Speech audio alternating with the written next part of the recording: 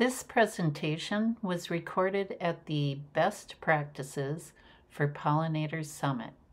For more information, contact pollinatorfriendly.org.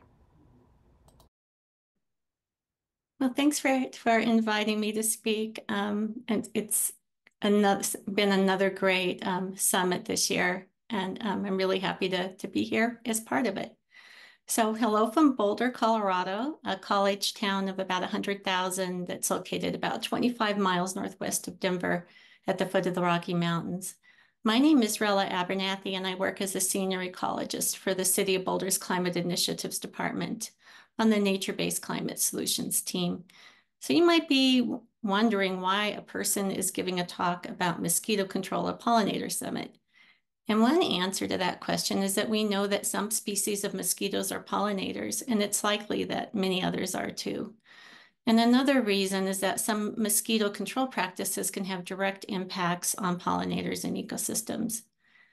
But one of the points that I hope to make today is that the very best of intentions can lead to unintended consequences even when following the best management practices from the agencies and academic institutions that are considered the ultimate authorities.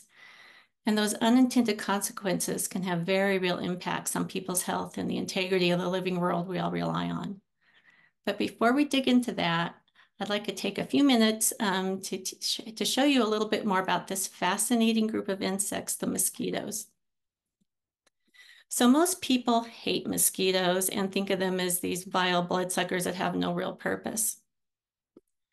And whenever there are stories about mosquitoes in the news, you can pretty much count on seeing these photos or videos of people sticking their arms in laboratory cages to feed colonies. But this is actually a much more accurate representation of how mosquitoes feed. Um, almost all species use nectar as their energy source, and only the female mosquito will take a blood meal to get nutrients and protein she needs to produce eggs.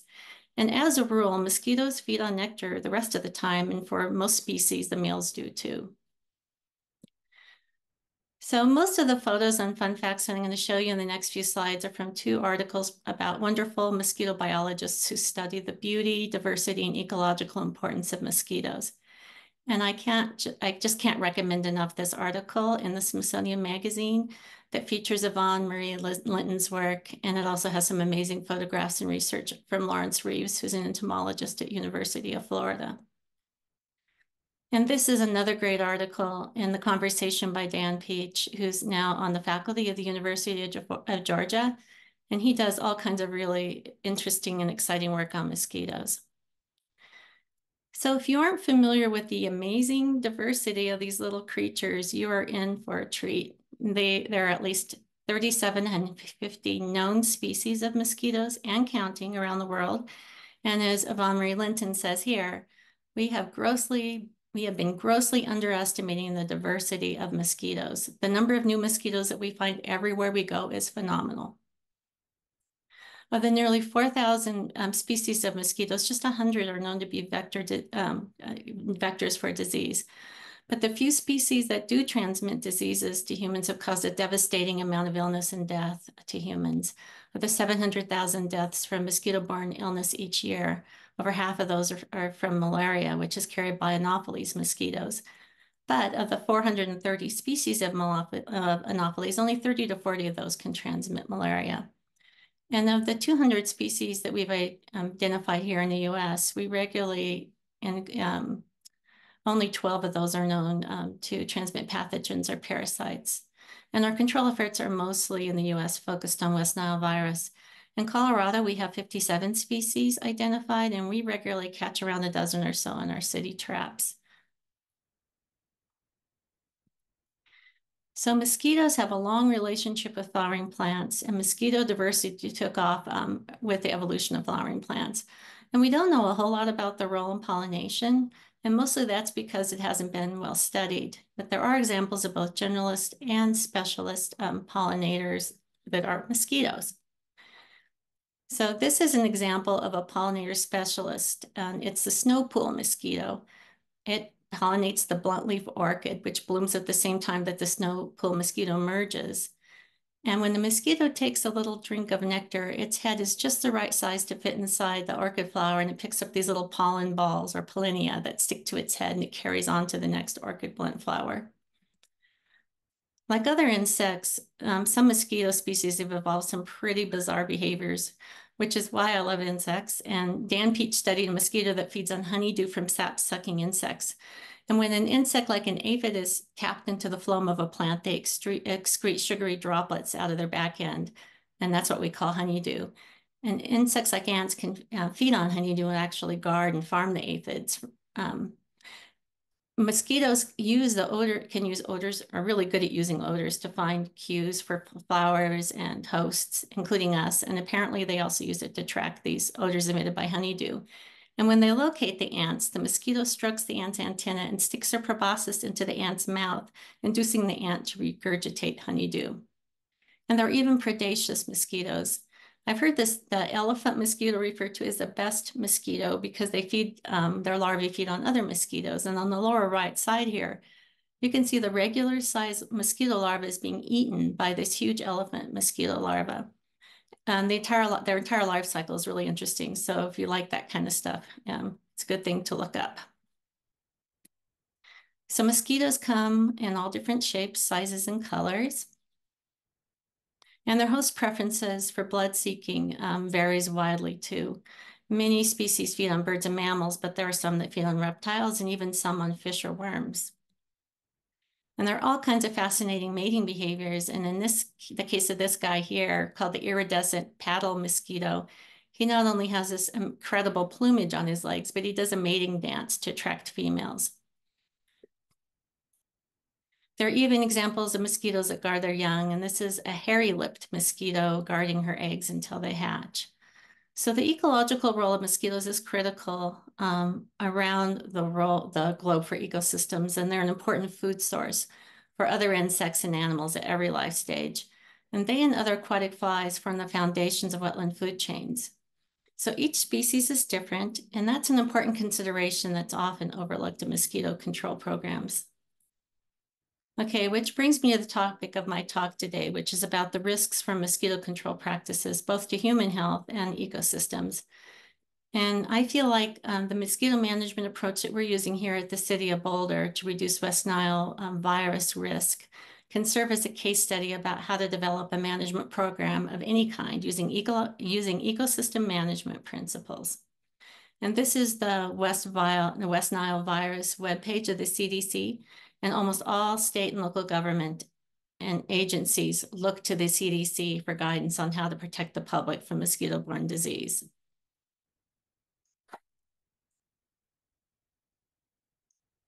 So the transmission cycle of West Nile virus is actually much more complicated than this diagram.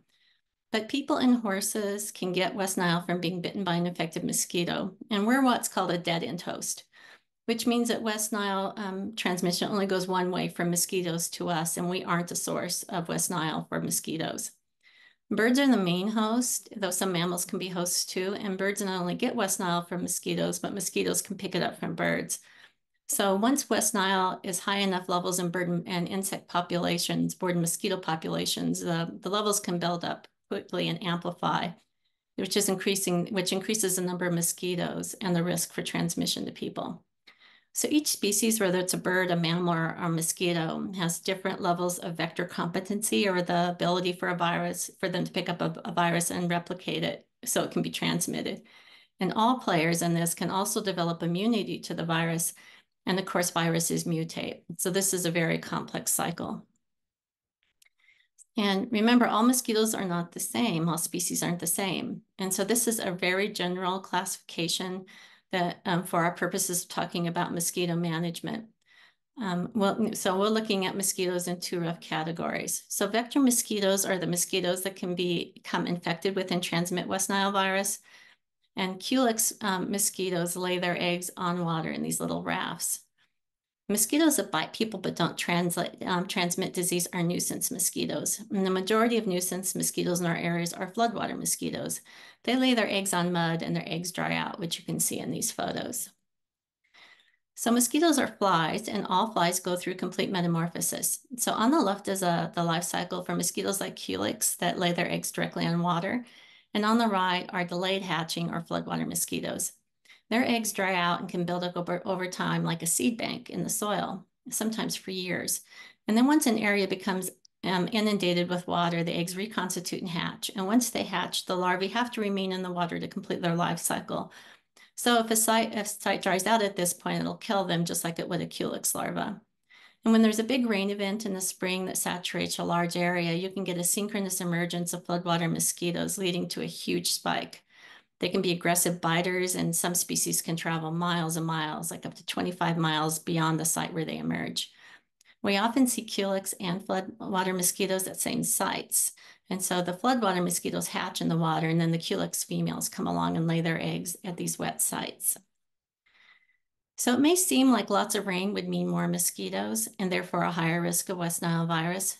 But this study looked at West Nile virus and climatic data and from several states to determine what the drivers are for what human cases. And one of the states they analyzed in depth was Colorado. So when West Nile first arrived in 2003, we were one of the hardest hit states. And this study found that drought and immunity were the main drivers for human cases in Colorado. So drought increases the risk and immunity decreases the risk. And drought may not seem to make that much sense because culex lay their eggs on water, but when it's droughty, it's thought that birds that are the main host and mosquitoes will be more concentrated around water and the odds of coming into contact with each other to spread West Nile um, seems higher. But immunity has to do with the way that West Nile virus infection manifests in people. So when a person's bitten by an infected mosquito, 80% of people won't have symptoms at all and won't even know they were infected. But after being exposed, they become immune. And since Colorado is an outdoorsy state, there are likely many people who are now immune since West Nile is endemic and, and is always present, um, present in the summer at some level. So most of the 20% of people who get infected with what's called West Nile fever have flu-like symptoms ranging from mild to severe, and they become immune. The, but the reason we care so much about this disease is because a, a few people who are infected, about one in 150, will develop neuroinvasive diseases that cause encephalitis, meningitis, or a polio-like um, illness called flaccid paralysis. And these people become very ill. They, it can be fatal, and people who survive can suffer from life-changing disabilities. And thankfully, most mosquitoes aren't infected with West Nile. First, you know, the Culex are just part of the mosquitoes out there. And then only between 2 to 8% of mosquitoes are usually infected. But since people can get sick if they get the neuroinvasive form of the disease, public health officials take this disease very seriously. And unlike the flu or COVID, West Nile can be prevented by taking precautions to avoid being bitten by mosquitoes, which is why education is so important. So I want you to pay attention to the shape of this graph. Um, the first year West Nile arrived, arrived in Colorado is zero on the axis, the x-axis. And at that point, no one was immune. And then in that year, we had over 3,000 cases in the state, but it dropped off in successive years. And this graph shows neuroinvasive um, cases, but the shape um, is similar. And when we, when we, if, it, if they were plotting just human cases. And what's interesting about this study is that they ran um, climate and epidemiological models for different scenarios. And these symbols past the dotted line are future projections for human risk. M is for mean and E is for extreme. And they predicted that although um, there will continue to be cases that they didn't expect an epidemic. So the rest of this talk, I'm going to focus on Boulder County. And this map of Colorado shows you where we're located. So I don't know if you can see also here, if you can see my cursor is the area that we're talking about. Here's the border um, of Boulder County. And um, about two thirds of the county is in the mountains. So we're really focusing on um, this area um, that's um, onto the, in the front range, the western or the eastern front range. And these areas that are yellow, shaded in yellow and blue are larval breeding sites that are mapped um, um, that we visit regularly, inspect at the city.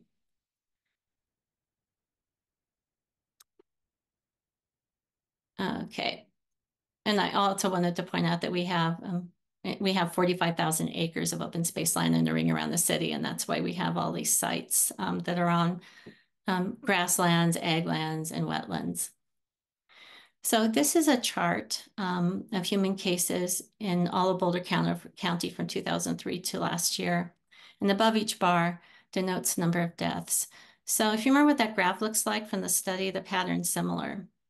Now we had the, the big um, um, a number of cases in 2003, and then it dropped down and stayed relatively low. Um, and since the health department relies on physicians um, to report West Nile viruses and the test, and then they also have an investigator go out and confirm them. And in West, the the and, and the the 20% of people have West Nile fever have really similar symptoms to the flu. We may, we may not have the best reporting for those cases, but we do have decent reporting, of course, for neuroinvasive cases and for deaths. Now, this is for all cases in Colorado. And you can see kind of um, towards the end that they're starting to rise a little bit again. But this is what's really alarming. This is like a plot of deaths. Um, and as you can see, I don't know if you guys are covered up by um, um, by the by me and um, the other presenters, but it goes up to 50 this last year, which is almost as high as it was when we initially, you know, had a had the epidemic in in 2003. No, we can see your whole slide roll up. Okay, excellent.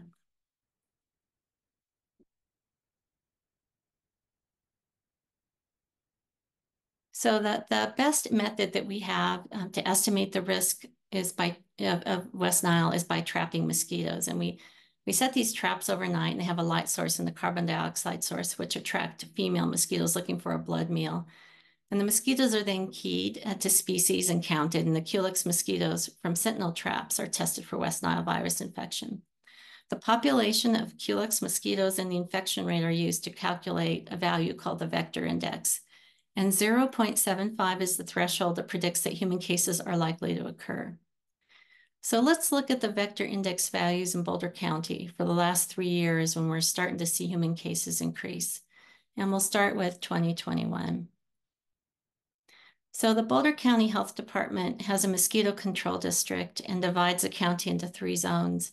The city of Boulder isn't part of that district, so we design and manage our own program and test our own mosquitoes. Um, so here are the breeding sites on, on um, on city-owned property again down here to give you a reference.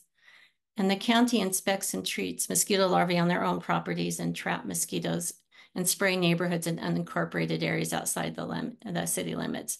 So Boulder County Zone 1 is part of the mosquito district and not the city. And that would is mainly the areas over here towards the west side of the county. Okay, Zone 2 is I'm going to, show, to show you the cursor is up here uh, in and around Longmont, which is a city that is northeast of Boulder.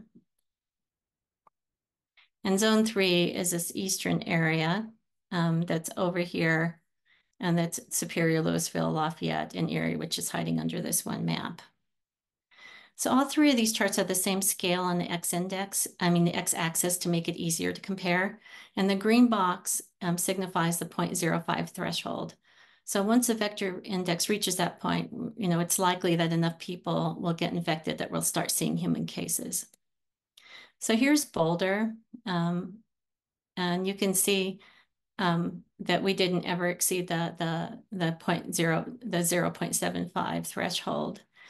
And each, we, we test once a week. Um, and so we did have um, some positive mosquitoes during three weeks, but the, the, the rate was pretty low. Okay, let's look and see what happened in 2022. So once again, we see multiple weeks and values exceeding 0.75, sometimes by quite a lot. And these four charts are also scaled with each other for comparison. In that particular year, and um, the city of Boulder had no positive tests the whole season. Now let's look at um, 2023. And here we see some of the highest vector index, index values I've ever even heard of. So the highest um, in 2022 was 3.52 and in 2021 was 5.03, which felt crazy at the time. But this last year, there was one over 15. Um, I have the data for the county since they share it with other with all the municipalities, but the vector index numbers, some of them that I saw throughout the state were very high. And there were some of the highest trap numbers and the largest number of culex that I've ever seen in some of these other areas. So here in Boulder, we had high mosquito numbers too, but not nearly as high as other areas. And our culex numbers never came close. I mean, by orders of magnitude to nearby cities. And we never exceeded the vector index. So the big question is why is there a difference um, between the city and the other jurisdictions? And what's crazy about last year was this unseasonably wet year for us, so drought was not a factor. But before I start talking about the difference between the city's approach and the other cities and counties in Colorado, I want to say this. I started working for the city 15 years ago, and part of my job was managing the mosquito program. And so this was in 2009. So I was just six years past the West Nile epidemic. And although there were still some human cases, eight of, eight of the next nine years, no one died in the whole county. But there's always this fear that there could be a bad West Nile year. And the weight is heavy on your shoulders as someone running a program when you worry that the decisions you make can affect somebody else. So I just want to make it clear that when the other cities are following the guidance of CDC and the state and county health departments, they are doing what they feel is the very best they can do to protect the public. Okay, so let's um, start with all the pro what all the all that we have in common between the programs before we look at the difference. So we all set up traps and test for West Nile. We all map and inspect larval breeding sites, and we all spend time educating the public. There is one difference in how we inspect our larval sites. Um, the city has kept data on the density of mosquito larvae at each of our over 500 sites going back to 2002 when we created our program. And it just so happens that skilled field techs can tell the difference between culex and other mosquito larvae. So culex are on the bottom and mosquito larvae don't have gills, so they have to come up to the surface of the uh, water to get air. And culex have this long angled siphon on their back ends. It's like a snorkel.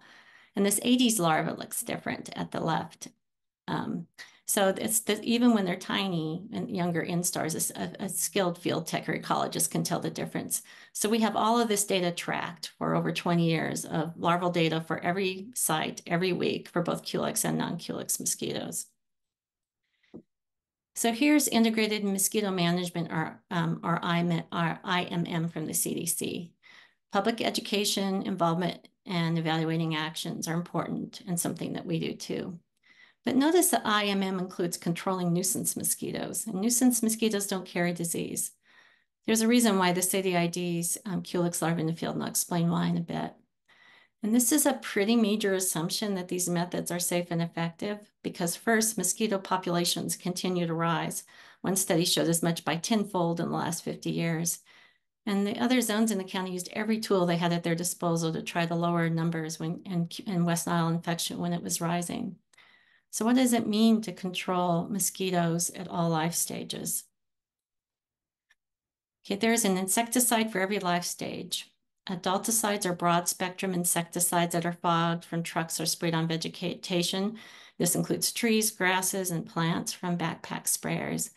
Some people use organophosphates like Naled or malathion, but I think that only pyrethroids are used in Boulder County. So pyrethroids are incredibly toxic to both aquatic and terrestrial invertebrates and associated with a whole suite of issues in people, including cognitive issues in kids and reproductive issues in adults. And PFAS has been um, detected in Anvil, one of the adulticide products. And the initial thought was that it leached from the plastic container. But PFAS is also purposely added to products. Until the last few months, the EPA was allowing PFAS additives in pesticide formulations. But what most people don't realize is that active ingredient of many pesticides are actually PFAS themselves. And the pyre, uh, uh, one of the pyrethroids that's used for mosquito control bifenthrin including here in Boulder County, is a PFAS. So this is um, a page from the Minnesota Department of Ag's website showing been um, bifenthrin listed as PFAS. And I pulled out bifenthrin, but this list contains many insecticides and herbicides that are applied everywhere across the country. And the chemical industry is lobbying to challenge and limit the definition for PFAS, these fluorinated chemicals. But fluorinated chemicals are the, are the norm now in new pesticides. And the Scientific American article points out that over 70% of new pesticide products are these forever chemicals. And do they even work? Um, this estimate from David Pimentel shows that 0.00001% of adulticide droplets even hit a mosquito. And last season, as West Nile was rising, other jurisdictions sprayed every week for weeks. The threshold they used to spray for nuisance mosquitoes normally is 150 per trap, and some of these sprayed areas had traps week after week with thousands of mosquitoes, including thousands of culex. So mosquitoes don't only become resistant to insecticides, but they learn to avoid them as they as we and as we get more heat spikes, in some cases they can become less sensitive. There are also studies showing different pesticides um, affect the, the infection of pathogens in mosquitoes or the ability of them become infected. There are just a, these are just um, a couple of multiple papers on the ecological impacts that pyrethroids, bifenthrin and permethrin have on aquatic ecosystems. And surface oils are often used for later um, larval instars and pupae. And surface film products are non-selective. They're lethal to all surface breathing insects, including mayflies, aquatic beetles, and bugs, and they are known to Im impact duck eggs. Insect growth regulators like methoprene, which is a synthetic analog of juvenile hormone, is applied to water. And juvenile hormone is common to all insects. As insects grow, mold keeps them in an immature stage. And when it decreases, they can molt into a pupa or an adult. So keeping it artificially constant and high blocks them, blocks insects from maturing. It can also keep eggs from hatching. Um, so what impact does this have on non-target invertebrates at these sites? And what about larvicides? Some places still use synthetic insecticides, including organophosphates for larvae, though I'm not um, aware of any that use in Boulder County anymore. But one thing I see in mosquito management programs is using more and more um, these bacterial larvicides. And environmental organizations also really promote their use because they're trying to get people to avoid synthetic products and fogging and spraying. But it's a big mistake to assume that natural products are benign. It is, in fact, just the opposite in the case of these larvicides, and I'll talk about that when I explain the city's approach. So the approach the CDC recommends is really focused on killing as many mosquitoes as possible at every life stage. And this seems to make sense to our human brains that want to efficiently and quickly tackle a problem in a linear and reductionist way. But there's a lot of collateral damage from this approach. So what does the City of Boulder do? We have an integrated pest management policy that takes the opposite approach. So instead of focusing on killing a, a, target organism, the focus is on managing the ecosystem by promoting the stability of desirable species to discourage pests and promote the natural balances within it. This means a lot of observation and monitoring. It also means reviewing the literature, consulting with ecologists, and applying ecological principles when making management decisions. It takes patience and it's ever evolving as we learn. So this view of the mosquito life cycle is more in alignment with what we're trying to achieve. In functioning ecosystems, there are predators at every life stage.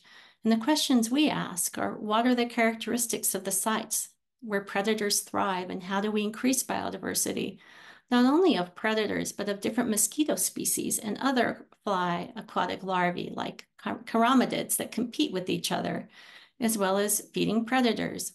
And they also graze on plankton and detritus. How can we manage our land and our wetlands to encourage as much biodiversity as possible? And what impact do management decisions have on desirable species and to the system as a whole? I'm going to do a quick review of how the city's mosquito program came together during the highest point of West Nile. So when Colorado was hit in 2003, we had the highest number of cases in the nation, and people panicked and started spraying insecticides from trucks and from aircraft. The city chose not to spray. This is before my time. Um, I came on a few years later. So traps are set in a grid throughout the city, and the mosquitoes collected and ID'd to see if there were culex, and then the culex sent for testing, West Nile virus testing. And there was no risk of West Nile inside the city neighborhoods based on the data, so there was no reason to even consider spraying. But I found these clippings in an old file, and I also found letters from the CDC, from the state, and from the county health departments demanding that Boulder sprayed. but without evidence that it could help. And, you know, there wasn't a reason to spray. We didn't spray then, and we never have sprayed um, for mosquitoes. Now, as I mentioned before, field techs check to see whether mosquito larvae are culex or nuisance. And from the very beginning and for many years, the only sites that were ever treated with BTI um, were those with culex to avoid necessary um, unnecessary BTI in our wetlands. And later, under pressure um, from the county and from some recreational facilities, a few sites were added um, to be treated with BTI for, for high nuisance uh, mosquito larvae. So that was how this program was structured when I joined the city. We made a few minor tweaks, but in 2018, we made some pretty major changes. So um, the open space and parks ecologists first categorized every one of our 550 sites as either low or high quality. And then we reviewed every site visit since the program began. I mean, we went through spreadsheets line by line, and we created a fairly complex threshold to determine if BTI could be used. We divided the sites by larval breeding history, and those that were consistent or high breeding were visited once a week, and those that were sporadic breeders were visited monthly. In addition, every site had biodiversity data collected. I did an in-depth literature review to learn as much as I could um, about the ecology of mosquitoes and other critters associated with these sites. And there are also lots of new papers about BTI. And what we learned made it even more clear that we needed to reduce it as much as possible. So here's a simple food pyramid with the planks, um, plankton, algae, microorganisms at the bottom. And when this isn't in balance, we end up with shifts that can impact water quality, the diversity and abundance of primary consumers, and even lead to algal blooms when it gets out of whack. BTI kills mosquitoes, but it also kills chironomids and other aquatic fly larvae. And when they're pulled out of the system, it can create a shift at the base level. The, and they also, there's also a lack of food um, that impacts the predators who feed on mosquitoes and flies and then cascades up the food chain. And as research shows, um, that this is actually what's happening. So I'm just going to show a sample of the many studies that continue to be published on the impacts of BTI. The mosquitoes themselves adapt, but BTI is also persistent, and since it's a bacteria, it can replicate and can be moved to other places. And long-term studies show it affects phytoplank the phytoplankton community. There are multiple studies showing it harms chironomids and other invertebrate communities. And we see cascading trophic impacts that you'd expect from all that. So by reducing odonates who feed on mosquitoes and fly larvae, and bird populations that feed on um, dragonflies and other insects that are also impacted. We've lost nearly 3 billion birds in North America in the last 30 years, and we need to take these impacts from our different practices very seriously. But one of the most troubling effects of BTI is that it's, direct, uh, it's directly toxic to amphibians at field rates. And what it does is it tears up the, their guts, as you can see in this photo. So that's normal gut on the left. And on, and on the right is the gut from a tadpole ex, exposed to BTI. I don't think BTI should ever be applied to a site with tadpoles. So we're very fortunate that our contractor is one of the best aquatic entomologists in the region. And the staff are all passionate and experienced field ecologists who do this work because they want to make a difference. So when you see one of the field ecologists applying a tiny amount of BTI, um, so here what you see is a, a, field ecologist applying a tiny bit of BTI to a depression where there is um, a lot of heavy mosquito breeding. And they'll also do things like just scoop it out if it's around the margins of a, a bigger wetland. The bigger wetlands almost never have um, mosquito larvae or, or at least not enough to make it worthwhile to even consider treatment. And they use an aquatic net for biodiversity surveys. And here, if the, if the video is working for you guys, you can see what they find. Damselfly larvae, all different sizes and species and different bugs and beetles. It's just like a whole um, bunch of life happening under there. And of course, they find lots of tadpoles.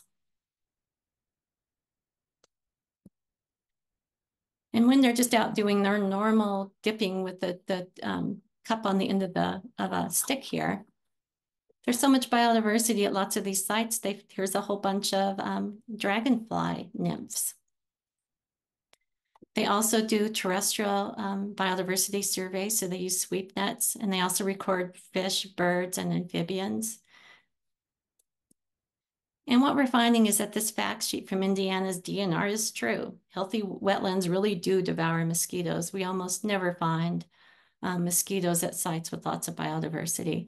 And we take the biodiversity of a site into consideration before we would even consider treating at all with BTI. So as we destroy habitat and fragment, we are losing um, biodiversity at a staggering rate. We filled in wetlands and replaced it with homes and farms of millions of acres of monocultures of transgenic corn with BTI or BT in every cell with neonic coated seed. And then we spray it with a cocktail of herbicides that rain miles away and contaminate all of our surface and groundwater. And, the, and then end up with dead zones in the oceans where it drains. And we landscape our yards in monocultures of grass. And as we destroy our habitat and fragment it, we're losing vertebrates at an alarming, alarming rate. But we're also losing insects. And with climate change, we have winners and losers, and mosquitoes are winners. They can easily adapt and thrive in all these degraded environments that other insects, including their predators and, and the birds, can't. So why are we seeing a rise in mosquito populations in West Nile virus? Well, the worse it got, the more people tried to fix it and the more they treated with BTI, with oils and insect growth regulators, and sprayed adulticides trying to keep people from getting sick. But we also had a, a very wet year. And so that meant more weeds and more herbicides. And doing a quick look at the literature, there are several studies showing the impacts on mosquito larvae um, from herbicides on their growth and development. And in, in, in some cases, it makes them more susceptible to pathogen infection. So how do we manage mosquitoes instead of uh, in, in, in a way that um, can keep people safe? Well, I think that instead of focusing on killing them, which is a zero-sum game, that they are winning, that instead what we should be doing is managing ecosystems. We need to restore degraded areas and use land management practices that conserve insects. So this beautiful diagram um, was created by a local artist, Faith Williams, for the Xerces Society during the Colorado pollinating insect study. And here's is the, the, the, the, the, the solution to what we saw from all the destruction in the previous diagram in the Wagner paper. Here are the answers to reversing insect decline. And by doing that, we not only save insects, but the foundation of the world's ecosystems and ourselves. We need as many insects as possible to be winners during this time of rapid change. And we need mosquitoes to be part of thriving ecosystems. And it's not too late. When, when E.O. Wilson died, I saw this article. And this is something we have to keep in mind. So in closing, I want to share um, this video of one of our field techs out doing her biodiversity, and not field tech, an ecologist, a field ecologist out doing her weekly checks, biodiversity checks, as she went through a field of butterflies. And not butterflies, I mean dragonflies.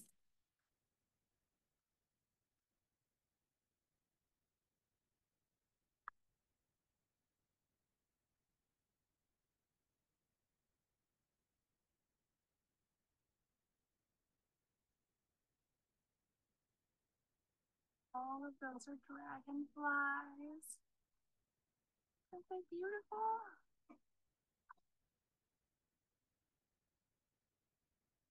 Okay, thank you for your time. And I hope that more and more people will start considering um, the, the true impacts that trying to control mosquitoes has. Rella, that was amazing. Um, we do have some questions if you're up for it. All right. Everybody loves you. well, um, thanks for all the love. and remember that mosquitoes aren't always the bad guys. we, we make them the bad guys by the way we try to control them.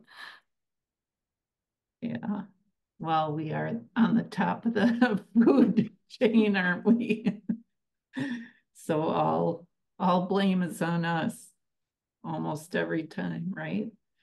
Um, do you have any recommendations for presenting this idea to homeowner associations or neighborhood groups or even communities? Yeah, um, one of the things that we need to do is take this complex topic and and present it in a way that you know is more concise and that we could share as a short case study. Um, you know, people come to me and say, well, how can we do this in our community? And it really is a fundamental shift in the way that health departments um, and communities manage for mosquitoes. You know, and as climate keeps, the climate change keeps um, becoming more severe, we're going to see more and more um, insects and mosquitoes moving in. You know, insects are on the move, everything's on the move. And so we need to really not panic and stop and think about the ecology of a system before we make, you know, rash decisions that could, you know, just compound the problems that we're having, you know, with some of these pest insects. But you know, to go back to your question, um, one of the things that's really, really problematic are these barrier treatments that so many people use in, in HOA properties and in their yards. And those are the mosquitoes without, you know, the, the summers without mosquitoes that are advertised by Mosquito Joe and, and um, TruGreen and a whole bunch of companies. There's just tons of them. And what they do is they go every two weeks, the entire season, and spray everything because different mosquitoes have different behaviors and some rest in trees, some rest in flowering plants or grasses, and they just spray everything. And the idea is that it's persistent enough um, that it lasts for those two weeks and it's toxic enough that when a mosquito lands on it, it kills them. So think about what that means for everything else that's in your yard and for your kids and your pets. And so that's one thing to really educate people about is, is that these things are not good ideas to use. Right. And uh, it, if it's okay with you, Rella, we, we recorded this talk and we can uh, post it along with the other videos on the YouTube page. And I encourage people to send that link to your communities, to your public works departments and your uh, mosquito control agencies. Yeah, and like I said, it's it's you know when you when you're concerned about keeping people from getting these you know really scary diseases it, it you, you have to really um, have some confidence that you know an ecosystem can take care of itself and that may mean restoring them before you are ready you know to pull the trigger on a program like this. Um, but you know from what i saw the the more and more people treated the worse things got and I was just alarmed when I saw some of the numbers, you know, in, in a city close to us where they were spraying every week and doing everything they could think of. And they were had incredibly high vector indexes. They would have more mosquitoes, more Culex mosquitoes in one trap than we had in all of our traps across the entire city of Boulder. So, you know, if it worked um, and, and kept mosquito numbers down, then you could see the rationale behind it, but it doesn't seem to work. And, and then you add all these other issues that compound the problem. So it really comes down to biodiversity and a paradigm shift in how people think about things. Yeah, and there are actually, believe it or not, there's actually controversy among the disease ecology community about whether the biodiversity actually um, slows down the transmission of zoonotic diseases or if it's protective. And um, I think, you know, when you, the more and more data we can get um, and studies that are done, you know, I, you know, according to the ecological principles, it should dilute or slow down the effect. So if you have a site that has five species of mosquito larvae and 20 species of chironomids, you know, they're all going to be competing for space and for resources and that just there's just fewer Culex mosquitoes, you know, to come into contact with West Nile. So, you know, I I really think that diversity is key to this, at least in this situation. Have you seen other communities use Boulder's model? I haven't, but one thing that's interesting is Wisconsin takes BTIU seriously. You have to get a permit from the state to be able to apply it for mosquitoes. And they will only apply allow it to be applied for culex. And so they do actually you know, look key between when and when they're out in the field, you know, they they they only can treat it, they see culex mosquitoes. So that and you know, compared to Colorado, um, Wisconsin has like a much bigger mosquito problem as far as like um, nuisance mosquitoes, and people just live with it, you know, because they're not treating with larvicide for nuisance mosquitoes. Well, thank you so much, Rella. This has been a really important um, talk. I'm so glad you were able to join us. Um, and we're gonna, do you have any final important words or tips you'd like to share? Well, I, I, you know, what, what I'm hoping is that whenever we're thinking of managing for any, any organism we consider a pest, whether it's a weed or an insect, you know, that we really take the time to dig in and learn about it and observe and, um, and not be reactionary. I think that can make such a difference in, um, in, in healing the land and, and starting to reverse these really alarming trends.